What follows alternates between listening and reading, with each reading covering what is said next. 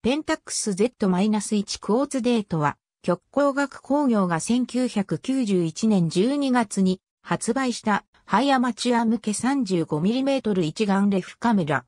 発売当時の Z シリーズの機関モデルであり、1の数字を与えられたペンタックスにおける数少ない機種である。ペンタックスファンクションなどの一部機能を省いた姉妹機の Z-5 も発売された。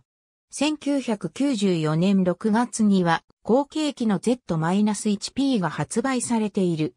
ペンタックス SF シリーズに続く Z シリーズの機関機として開発された本機はハイパープログラムを新たに採用したのが最大の特徴となっている。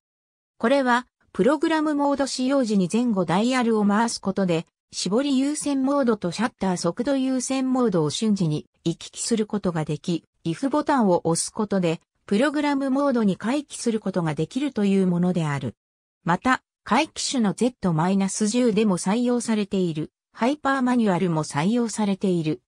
これらの露出モードは、最新のペンタックスのデジタル一眼レフでも採用され、ペンタックスの特徴的な機能の一つとなっている。